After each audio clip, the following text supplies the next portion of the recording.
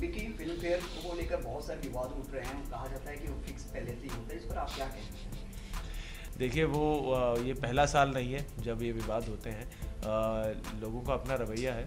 तो उनकी अपनी जूरी होती है उनका अपना पैनल होता है जो डिसाइड करता है क्या विनर्स है कौन विनर्स है। आ, मुझे नहीं पता उसके पीछे क्या होता है। आ, हम भी ऑडियंस की तरह ही हैं हम भी जाते हैं अवार्ड मिलता है तो ले लेते हैं अवार्ड नहीं मिलता तो नहीं लेते।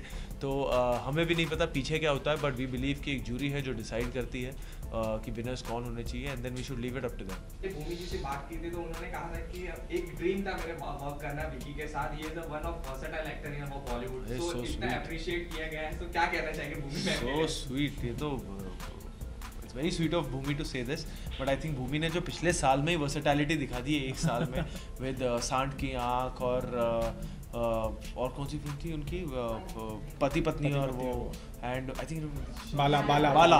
सो so, ये बिल्कुल तीन अलग कैरेक्टर्स हैं और तीनों को ओन करना और सब में अच्छे रिव्यूज़ पाना सब में लोगों का प्यार पाना it's it's incredible and I have also been waiting to work with her इसमें थोड़ा सा कम काम करने का मौका मिला क्योंकि उनका कैमियो रोल है बट इसके बाद हम तख्त में भी साथ में काम करेंगे so I am really excited to work with her and she is she is a very chilled out girl और बहुत अच्छी एक्ट्रेस हैं तो मज़ा आता है उनके साथ हमेशा।